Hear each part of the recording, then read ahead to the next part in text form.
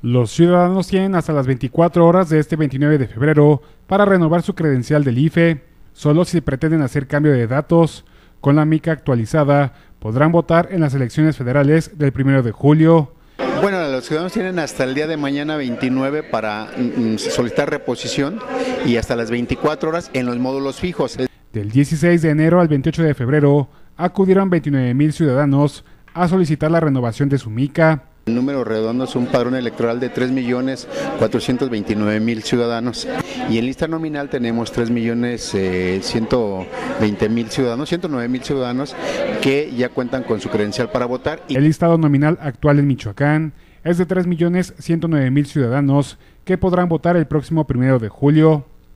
En los módulos aún quedan credenciales por recoger. Actualmente tenemos cerca de 42 mil credenciales en los módulos que todavía están esperando a que sus titulares la recojan. Quienes tramiten su credencial tienen de plazo para recogerla hasta el 31 de marzo. El 31 de marzo eh, los ciudadanos pueden recoger las credenciales de aquellos que hicieron su, su trámite de inscripción, cambio de domicilio o reposición. Si todos los ciudadanos que tramitaron su credencial para votar la recogen antes del 31 de marzo, el listado nominal podría llegar a 3.160.000 ciudadanos. Con información de Karina Reygue informa Cuásar TV.